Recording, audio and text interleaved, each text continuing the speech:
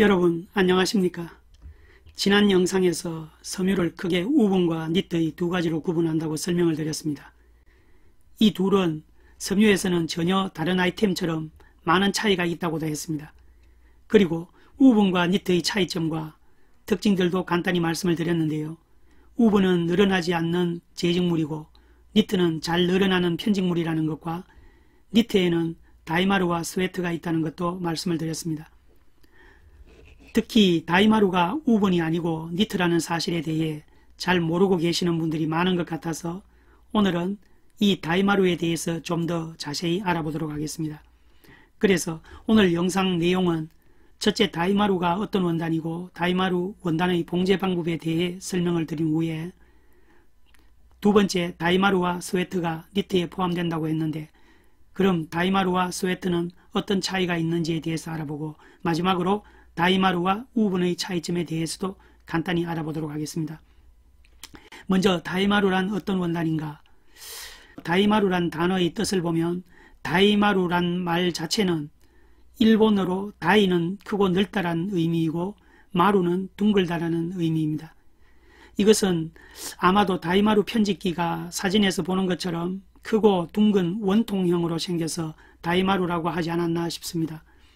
그러나 실제 일본 사람들은 이 다이마루라는 표현을 사용하지 않고 우리가 말하는 이 다이마루를 둥근 기계로 편집한다는 의미로 마루암이라고 합니다.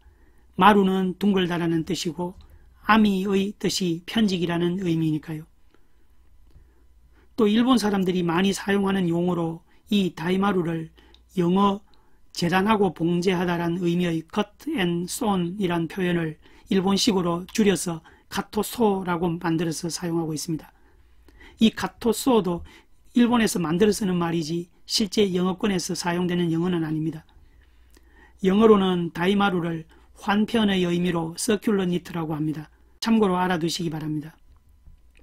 그런데 일본에서도 사용하지 않는 이 다이마루라는 표현이 우리나라 현장에서는 일반적으로 사용되고 있습니다. 그러나 우리나라의 정식 표현으로는 다이마루는 한자어 환편이라고 하는 게 맞습니다. 다이마루 원단의 편집 기계가 둥근 원통형으로 생겨서 다이마루 원단을 환편 니트, 다이마루 편직기를 환편기라고 합니다. 이 다이마루 원단에는 보통 환편기로 편직한 메리야스, 면 티셔츠, 양말과 같은 늘어나는 원단들이 있는데 이 다이마루 원단도 넓은 의미의 니트에 속한다고 지난 영상에서 말씀을 드렸습니다. 다이마루 원단은 둥근 편직기로 통짜로 편직을 했기 때문에 편직과 염색이 끝난 상태가 원통이나 튜브 형태로 되어 있는데 그 원단의 가운데를 갈라서 일반 직물처럼 사용합니다. 그런데 일반 면 원단이나 rib 조직 원단들은 가운데를 가르지도 않은 채 판매하기도 합니다. 이런 경우는 공장에서 작업하면서 갈라서 사용하는 거죠. 다이마루 원단의 가장 큰 특징으로 단점을 말씀드리면 편직기가 둥글게 돌면서 한쪽 방향으로 편집을 하기 때문에 가운데를 갈라 작업을 할 경우 원단 상태나 제품 완성 상태에서 틀어지는 사행이 심합니다. 옷이 좌우 비스듬히 비뚤어지는 현상이 심하게 나타나는데 심하고 약한 정도의 차이이지만 다이마루 원단의 경우는 이 현상은 어쩔 수 없는 상황이라 생각됩니다. 그래서 우리가 면 티셔츠를 사입고 세탁을 한 번만 하고 나면 옷이 심하게 틀어지는 것이 이 때문입니다. 물론 원사를 단사를 사용하는 경우가 더 심하고 합사를 사용하면 사행을 다소 줄일 수도 있습니다만 또 다이마루 원단은 기계의 게이지 폭에 따라 원단의 두께와 완성폭이 달라지며 사용 원사의 소재와 원단의 편직 조직에 따라 원단의 표면감, 터치 등 원단의 느낌이 많이 달라집니다.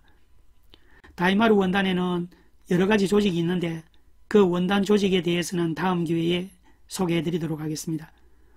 오늘 이렇게 설명을 하다 보니 단산이, 합산이, 또 원단 조직이니 게이지 같은 용어들이 나오는데 이 용어들 모두를 설명을 하기에는 너무 시간이 걸려서 이러한 것들도 앞으로 차례로 소개하도록 할 테니 오늘은 이 정도로 넘어가니 양해를 부탁드리겠습니다. 자 이제 같은 니트인데 다이마루와 스웨터에 어떤 차이가 있는지 다이마루와 스웨터의 차이를 말씀드리겠습니다. 앞에서 다이마루를 환편이라고 했는데 스웨터는 횡편이라고 합니다. 이 환편과 횡편은 편직 기계와 편직 방식에 의해 붙여진 표현이라고 보시면 됩니다. 다이마루 편직기는 둥근 원통형인데 반해 스웨터의 편직기는 수평으로 되어 좌우로 편직이 되기 때문이라는 것 정도만 알아두고 스웨터 편직에 대한 좀 더 자세한 내용도 따로 소개해 드리도록 하겠습니다. 오늘은 다이마루를 중심으로 설명을 드리겠습니다. 다이마루와 스웨터의 가장 큰 차이는 봉제 방법입니다. 다이마루는 원단 형태로 된 니트 원단을 재단해서 봉제를 합니다. 일본에서 카토소라고 하는 이유입니다. 그런데 스웨터는 옷의 앞판이나 등판, 소매의 각각의 조각, parts라고 하는데요. 이 parts들을 옷의 원 형태로 짜서 재단 없이 그대로 붙여서 봉제를 하는 경우가 대부분입니다. 예를 들면 소매나 えり 주위 형태도 짜면서 그대로 만들 수가 있습니다. 이것이 스웨터의 큰 특징입니다. 형태에 맞추어 각 parts를 편직하기 때문에 봉제 이음 부분의 시접 폭도 좁고 니트의 신축도 원활하게 될 수 있도록 봉제가 가능하기 때문에 니트다운 부드러운 실루엣과 착용감을 살릴 수가 있습니다. 그러나 다이마루는 다릅니다. 다이마루는 니트 원단을 원단 형태로 길게 짜서 옷의 패턴대로 재단을 해서 봉제를 하기 때문입니다. 그럼 왜 스웨터로 짜지 않고 굳이 다이마루로 작업을 할까요? 큰 이유는 니트보다 옷의 형태를 자유롭게 연출할 수 있기 때문입니다. 왜냐하면 원하는 대로 재단을 하니까요. 조금 전에 말한 바와 같이 스웨터는 파츠 형태에 맞추어 편집을 하지만 커브나 각도 등 형태에 따라서는 제작이 가능한 것이 한계가 있습니다. 그러나 다이마루는 재단을 하기 때문에 그 한계는 거의 없다고 볼 수가 있습니다. 편직으로 안 되는 형태를 만들고 싶을 때는 원하는 형태에 맞추기 위해 티셔츠뿐만 아니라 스웨터처럼 두꺼운 원단도 다이마루로 편직해서 패턴대로 재단 작업을 하기도 합니다. 이 밖에도 다이마루는 생산 속도가 스웨터에 비해 월등히 빠릅니다. 그리고 스웨터보다 얇고 섬세한 원단의 편직이 가능하기 때문에 이런 경우에 다이마루 작업을 합니다. 스웨터보다 대량 생산이 가능하고 생산성이 좋아 가격도 스웨터에 비하면 저렴한 편입니다. 이상의 결론으로 말씀드리면 다이마루는 원단은 니트 원단으로 봉제는 일반 직물 과 같은 방식으로 재단 후 미싱 작업을 하는 반면에 스웨터는 니트 원단으로 봉제 방법은 스웨터의 방식으로 한다고 할 수 있습니다. 스웨터 방식이란 재단을 하지 않고 봉제도 일반 미싱 작업이 아니라 스웨터 봉제 방식인 linking 작업을 합니다. 여기서 linking 작업은 일반 미싱 작업과 달리 니트와 함께 잘 늘어나게 봉제하는 스웨터의 방식입니다. 그러나 스웨터로 편직을 하더라도 복잡한 디자인이나 특별한 부분은 부분적으로 재단과 미싱 작업도 하기는 합니다만 오늘 말씀드린 내용은 크게 일반적으로 다이마루와 스웨터의 차이점을 말씀드린 것이니 참고하시기 바랍니다. 마지막으로 다이마루와 우분의 차이입니다. 지난 영상에서 니트와 우분의 차이를 말씀드렸는데 다이마루도 니트이기 때문에 전체적으로 니트와 우분의 차이의 내용과 동일하다고 보시면 됩니다. 혹시 니트와 우분의 차이에 대한 영상을 보지 않으신 분들은 이전 영상을 참고하시면 감사하겠습니다. 특별히 다이마루는 스웨트와 다르게 원단 상태로 되어 우분과 같이 패턴에 따라 재단 후 봉제한다는 것이 스웨터와 다릅니다. 그런데 다이마루와 우분이 모두 원단을 재단해서 미싱으로 봉제를 합니다만 우분은 주로 봉제 방법이 본봉 미싱으로 작업을 하는데 다이마루는 미싱과 니온 오바록, 삼봉 등의 특수기계를 이용합니다.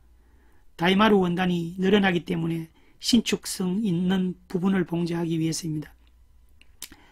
이상으로 오늘은 다이마루 원단에 대해서 다이마루 원단이 무엇이며 다이마루와 스웨트의 봉제 방법, 다이마루와 우분의 봉제 방법과 차이에 대해서 설명을 드렸습니다. 오늘 내용이 조금 복잡했을지 모르겠는데 영상을 끝까지 시청해 주셔서 감사를 드립니다. 저는 다음 영상에서 다시 뵙겠습니다. 감사합니다.